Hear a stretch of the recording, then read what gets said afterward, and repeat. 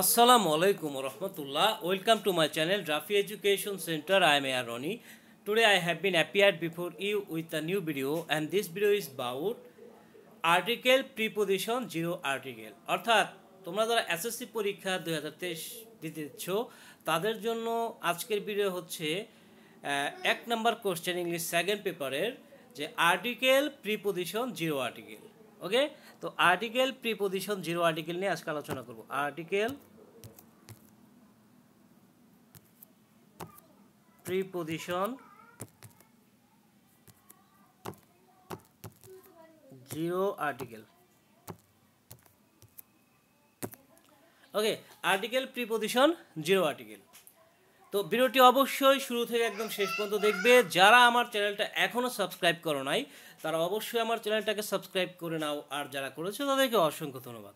ওকে তো চলে যাচ্ছি মূল ভিডিওতে। তো আজকে ভিডিওর আলোচনা বিষয় হচ্ছে আর্টিকেল প্রিপোজিশন জিরো আর্টিকেল একদম শর্ট টেকনিকে বুঝিয়ে দেব এবং ইনশাল্লাহ এতে তুমি পাঁচে পাঁচ নাম্বারই পাবে। এই আর্টিকেল প্রিপোজিশন জিরো আর্টিকেলে তুমি পাঁচের মধ্যে পাঁচই পাবে ইনশাল্লাহ তো তার জন্য তোমাকে জাস্ট কী করতে হবে? ভিডিওটি শুরু থেকে একদম শেষ পর্যন্ত কন্টিনিউ করতে হবে। ওকে তো চলে যাচ্ছি মূল ভিডিওতে। ওকে তো দেখো যে আর্টিকেল মানে কি? আর্টিকেল মানে কি? অবশ্যই তোমাদের জানা আছে যে আর্টিকেল মানে কি। আর্টিকেল মানে হচ্ছে আর্টিকেল হচ্ছে আর্টিকেল মানে হচ্ছে কি? A an the a an the আচ্ছা এ এন ডি হচ্ছে আর্টিকেল আর প্রিপোজিশন কোনগুলো? প্রিপোজিশন প্রিপোজিশন হচ্ছে যেমন অফ তারপরে অন টু ইন উইথ এরপর হচ্ছে কি বিটুইন বিটুইন হ্যাঁ তারপরে অ্যামাং এগুলো হচ্ছে কি প্রিপোজিশন ঠিক আছে? এগুলো হচ্ছে প্রিপোজিশন আর জিরো আর্টিকেল মানে কি? জিরো আর্টিকেল এটা কি? জিরো আর্টিকেল মানে হচ্ছে যেখানে আর্টিকেল বসে না, অর্থাৎ এ, এন অথবা দি, এর কোনোটাই বসে না। এটাকে বলা হয় কি? Zero article. এর একটাও যদি না বসে, এটাকে বলা হয় কি? Zero article. ঠিক আছে? তো এই যে, এই জিরো আর্টিকেল মানে হচ্ছে কি? এখানে তুমি ক্রস বসাই দিবে যেটা, এটাই হচ্ছে কি তোমার জিরো আর্টিকেল। এখন কথা হচ্ছে তোমার এই টপিকটাতে তিনটা বিষয় আছে। একটা হচ্ছে কি তোমার আর্টিকেল আছে একটা হচ্ছে কি প্রিপোজিশন আছে, আর হচ্ছে জিরো আর্টিকেল আছে। তো এই তিনটা বিষয় তোমাকে শূন্যস্থানে বসাইতে হবে। এখন তোমাকে বুঝতে হবে যে আর্টিকেল অর্থাৎ এ এন ডি এই যে এ এন ডি রয়েছে,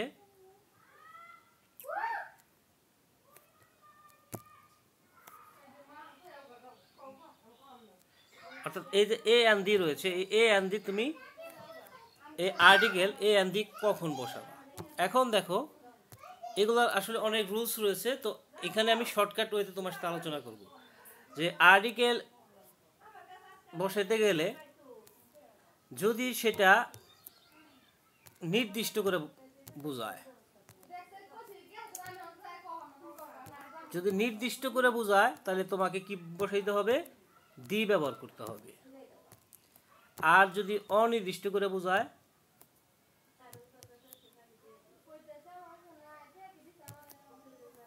অনির্দিষ্ট করে যদি বোঝায়, তাহলে তোমাকে এ অথবা এন বসাইতে হবে। এ অথবা এন।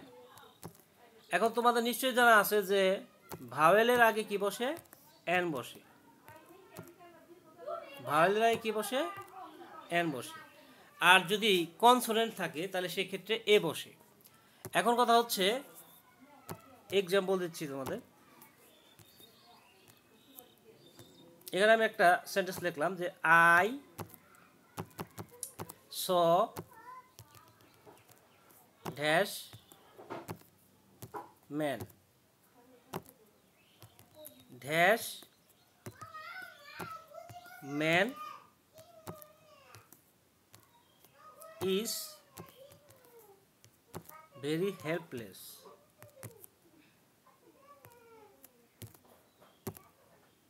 তো দেখো, এই সেন্টেন্সটা তুমি খেয়াল করো। এই সেন্টেন্সটা দেখো I saw dash man dash man is very helpless অর্থাৎ, যখন তোমাকে শূন্য স্থান দেওয়া হবে, একটা প্যাসেজ আকারে, তো এরকম কিছু সেন্টেন্স থাকবে, ঠিক আছে? এবং তোমার শূন্যস্থান থাকবে কয়টা দশটা। এই দশটা শূন্যস্থানে তোমাকে আর্টিকেল বসাইতে হবে প্রিপোজিশন বসাইতে হবে জিরো আর্টিকেল বসাইতে হবে। তো প্রথমত তুমি কোনটা বসানোর জন্য চিন্তা করবা? তুমি প্রথমত চিন্তা করবা যে আসলে দেখতে হবে যে এ অথবা এন বা দি এর মধ্যে কোনোটা বসে কিনা। যদি না বসে, তাহলে সেক্ষেত্রে দেখতে পাবো প্রিপোজিশন বসে কিনা। এবং যদি প্রিপোজিশনও না বসে, তাহলে তোমাকে দেখতে হবে যে সেখানে ক্রস বসে কিনা। তো দেখো যে কোনো কিছু কোনো কিছু সম্পর্কে যদি বলা হয় প্যাসেজে সেটা প্রথমেই কি থাকে না, সেটা নির্দিষ্ট থাকে না, সেটা অনির্দিষ্ট হিসেবে থাকে। তো এখানে দেখো যে I saw a man I saw a man আমি একটা লোক দেখলাম।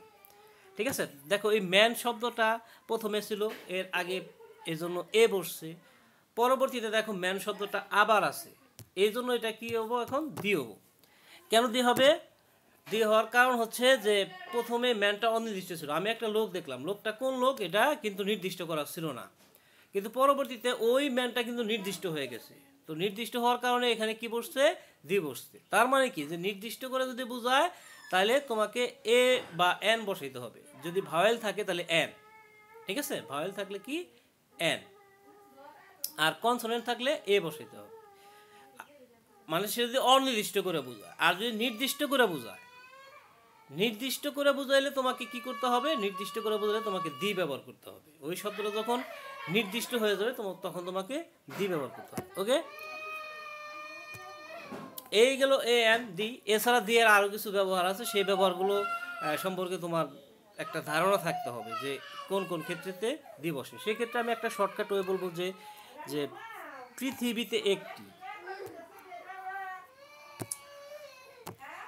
পৃথিবীতে একটি মানে একটা আছে, পৃথিবীতে একটা আছে এরকম বিষয়ের আগে সাধারণত দিবসে হ্যাঁ। যেমন পৃথিবীতে একটা আছে কি? পৃথিবীতে একটা আছে ওয়ার্ল্ড পৃথিবীতে পৃথিবী কয়টা আছে? একটাই আছে ওয়ার্ল্ড তাহলে এই এই ওয়ার্ল্ডের আগে কী বসবে? দি বসবে। তারপরে দেখো সান হ্যাঁ এই সমস্ত শব্দগুলো আগে সাধারণত দি বসে। হ্যাঁ আর্থ এগুলো থাকলে তাদের আগে কি বসে? দি বসে। ওয়ার্ল্ড সান আর্থ তারপর পৃথিবী থেকে মুন দেখা যায়। মুন কয়টা? মুনও হয়েছে একটা, চার। তাই না? তো পৃথিবীতে একটা আছে তাজমহল কয়টা আছে? তাজমহল।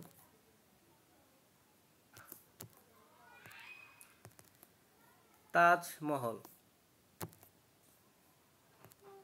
তাজমহল পৃথিবীতে একটা আছে। তো এরকম পৃথিবীতে একটা আছে। এই রকম বিষয়ের আগে সাধারণত কি বসে? দি বসে। তো আরও কিছু রুলস আছে দিয়ের জন্য। তো সেই বিষয়গুলো তোমাকে বুঝতে হবে। কিন্তু এখন দি সম্পর্কে তো আলোচনা করতে যাই তাহলে সেই ক্ষেত্রে কিন্তু বিরোধ অনেক লং হবে। তো এই জন্য তোমরা জাস্ট এটা মনে রাখবা যে নির্দিষ্ট করে বোঝাইলে দি হবে আর অনির্দিষ্ট করে বোঝাইলে এ অথবা এন হবে। ঠিক আছে? তো এই গেল আর্টিকেলের বিষয়টা। এখন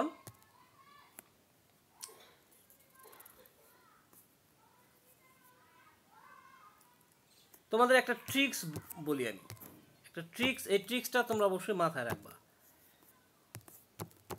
তাহলে ক্ষেত্রে এই ট্রিক্সটা তোমাকে অনেক হেল্প করবে।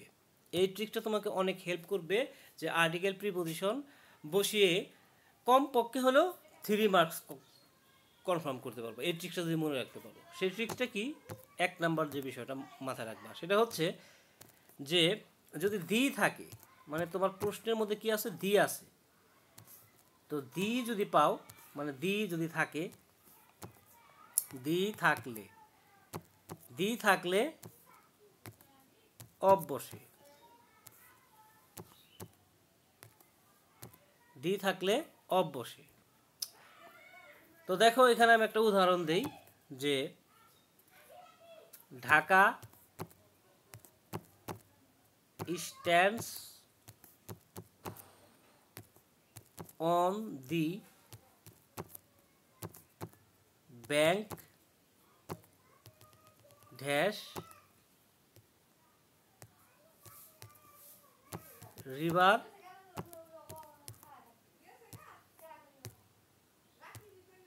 Buriganga.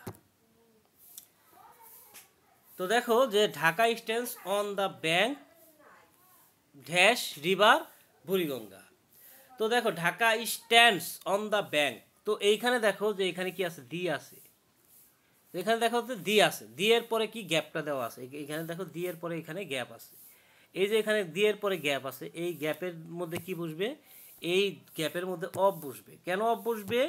কারণ এইখানে কি আসছিল এইখানে দি আসছিল তো দি এটার মানে হচ্ছে কি দি থাকলে অফ বসে। মানে প্রথমে দি আছে, পরবর্তীতে এটা কি বসছে? অফ বসছে। আচ্ছা এই উদাহরণটা যদি আমরা আরেকভাবে লিখি। হ্যাঁ এই একই উদাহরণ যদি আমরা লিখি যে ঢাকা স্ট্যান্ডস অন দি আচ্ছা Dhaka stands on dash the bank of river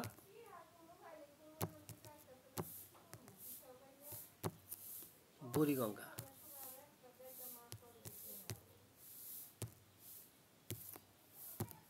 আচ্ছা এবার খেয়াল করো যে এইবার কিন্তু কি আছে? এখানে? হ্যাঁ এখন Dhaka stands on dash bank river Dhaka stands on dash bank of river Buriganga. তো এইখানে দেখো এবার কি আছে? অফ আছে। এই জায়গাতে কি আছে? অফ আছে। দেখো, অফ আছে। তাহলে এই অফের আগে তুমি কি বসাবা? দি বসাবা। অফের আগে কি বসাবা? দি বসাবা। তার মানে দি থাকলে অফ বসে। দি থাকলে অফ বসে। তাই না? দি থাকলে অফ বসে। তাহলে অফ থাকলে কি বসবে? অফ থাকলে সেক্ষেত্রে তাহলে দি বসবে। অফ থাকলে তাহলে সেক্ষেত্রে তোমাকে কি বসাইতে হবে? দি বসাইতে হবে। তাহলে দি থাকলে অফ বসে আর অফ থাকলে কি বসে? দি বসে। এরপরে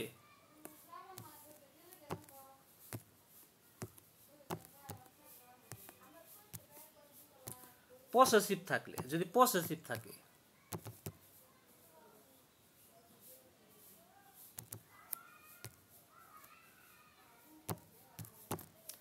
পসেসিভ যদি পাওয়া যায়, তাইলে সেই ক্ষেত্রে কি বসে?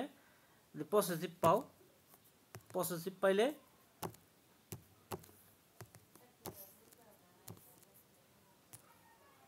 পসেসিভ যদি পাও, তাহলে সেই ক্ষেত্রে কি বসে? অফ বসে। হ্যাঁ পসেসিভ যদি থাকে, তাহলে সেই ক্ষেত্রে অফ বসে আর পসেসিভ কোনগুলা? পসেসিভ হচ্ছে তোমার কি? যেমন মাই তারপরে our your his her its their হ্যাঁ এগুলা কি পসেসিভ তো এইগুলা পসেসিভের মধ্যে এই যে আওয়ার পসেসিভটা যদি পাও, এই যে আওয়ার পসেসিভটা যদি পাও, এই আওয়ার পসেসিভটা যদি থাকে তাহলে সেই ক্ষেত্রে তোমাকে বুঝতে হবে যে এখানে তোমার অব বসার একটা পসিবিলিটি আছে। তো দেখো সেই উদাহরণটা দেখি।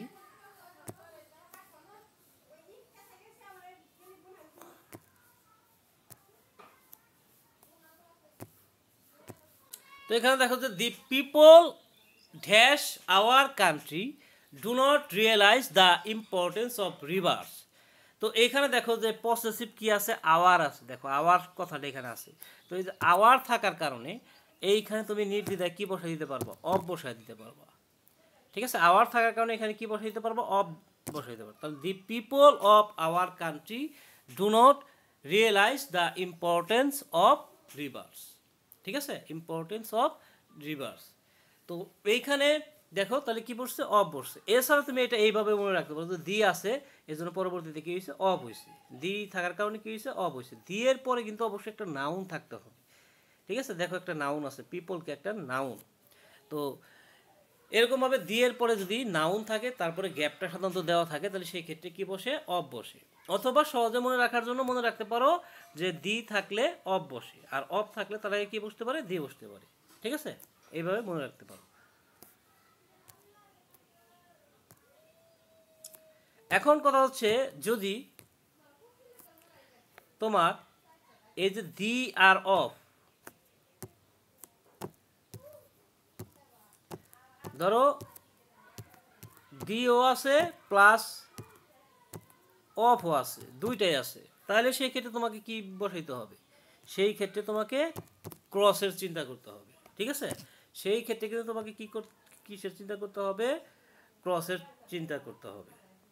তো দেখো,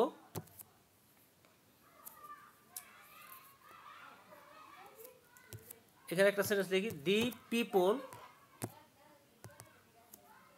the people of Bangladesh The people of Bangladesh live under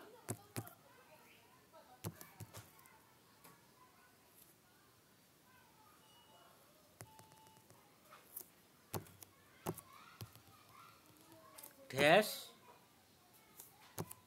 poverty poverty line.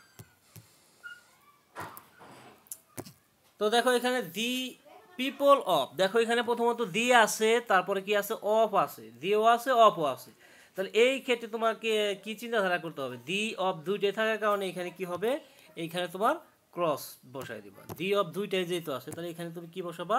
Cross বসাই দিবা। ঠিক আছে? The people of Bangladesh live under poverty line তাহলে এইখানে তোমাকে কি বসাইতে হবে? ক্রস বসাইতে হবে। কেন? কারণ দিও আছে অফও আছে। এখন যদি আবার আনকাউন্টেবল নাউন থাকে আনকাউন্টেবল নাউন থাকে, ঠিক আছে? আনকাউন্টেবল নাউন যখন থাকবে, সেই ক্ষেত্রে তোমাকে চিন্তাধারা করতে হবে কিন্তু ক্রস হ্যাঁ? সেই ক্ষেত্রে তোমাকে চিন্তাধারা করতে হবে ক্রস মানে আনকাউন্টেবল নাউনটা কি? আনকাউন্টেবল নাউন হচ্ছে যা হচ্ছে গণনাযোগ্য নয় মানে যা গণনা করা যায় না, ওইটাকে বলা হয় আনকাউন্টেবল নাউন তো যা কিছু গণনা করা যায় না, এরকম কোনো ব্যাপার যদি থাকে, তাহলে সেই ক্ষেত্রে তোমাকে বুঝতে হবে যে এখানে ক্রস বসাতে হবে। যেমন এখানে আমি একটা সেন্টেন্স লিখলাম যে education removes education removes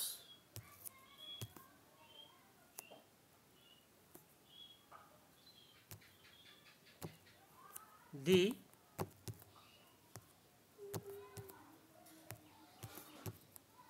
darkness of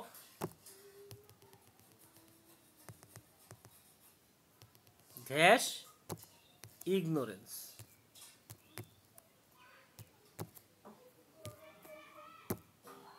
তো দেখো এখানে আছে education removes the darkness of ignorance তো এই দেখো ইগনোরেন্স এই ইগনোরেন্স মানে হচ্ছে অজ্ঞতা। ইগনোরেন্স মানে কি? অজ্ঞতা। তো দেখো ইগনোরেন্স শব্দটা হচ্ছে আনকাউন্টেবল নাউন ঠিক আছে? এখানে ইগনোরেন্স হচ্ছে অজ্ঞতা। তো এটা একটা আনকাউন্টেবল নাউন মানে অজ্ঞতা কি? গণনা করা যায় যায় না। তো যে সমস্ত বিষয় মানে গণনার যোগ্য নয়, ওই সমস্ত বিষয়ের আগে কি বসে? ক্রস বসে। তাছাড়া দেখো, এখানে দি এবং অফ এই দুইটাই কিন্তু এখানে আছে। দিও আছে অফও আছে। এই কারণে দি অফ দুইটা থাকার, দুইটাই থাকার কারণে এখানে তোমাকে কি সিলেকশন করতে হবে? অবশ্যই তোমাকে মনে রাখতে হবে যে এখানে তোমাকে ক্রস সিলেকশন করতে হবে ঠিক আছে? এখানে তোমাকে ক্রস বসায় দিতে হবে। এই জায়গাতে তোমাকে কি সিলেকশন করতে হবে? ক্রস বসায় দিতে হবে। ক্রস ঠিক আছে? কারণ এখানে কি দেখো দি এবং অফ দুইটাই আছে। দি এবং অফ দুইটা থাকার কারণে এখানে কি বসছে? ক্রস বসছে। তো জাস্ট তোমাকে এই টেকনিকগুলো যদি তুমি মাথায় রাখতে পারো ঠিক আছে? অন্য কোনো রুলস যদি তোমার মনে নাও থাকে। এই এখানে যে পাঁচটা বিষয় আছে আহ, হ্যাঁ এই যে পাঁচটা বিষয় আছে, পাঁচ নাম্বার বিষয়টা কি? আনকাউন্টেবল নাম বলতো। এই বিষয়গুলো যদি মাথায় রাখতে পারো, তাহলে আমি আশাবাদী এখানে যদি তুমি অন্তত এই কয়েকটা বিষয় মনে রাখতে পারো, তারপরও তুমি পাঁচের মধ্যে তিন পায়ে যাবা। পাঁচের মধ্যে তিন নাম্বার খুব অনায়াসে পায়ে যাবা। বাট যদি পাঁচের মধ্যে পাঁচ পাইতে চাও, তাহলে তোমাকে কিছু অ্যাপ্রোপ্রিয়েটও মুখস্থ করে নিতে হবে। ঠিক আছে? অ্যাপ্রোপ্রিয়েট যে প্রিপোজিশন আর কি অ্যাপ্রোপ্রিয়েট যে প্রিপোজিশন আছে, সেগুলো তোমাকে মুখস্থ করে নিতে হবে বা সেগুলো মুখস্থ থাকতে হবে মূল কথা। ঠিক আছে? তো এই ছিল আজকের আলোচনা। আগামীতে কথা বলব অন্য কোনো টপিক নিয়ে। সেই পর্যন্ত সবাই ভালো থাকবে, সুস্থ থাকবে, সুন্দর থাকবে। টাটা, আসসালামু আলাইকুম রহমতুল্লাহ।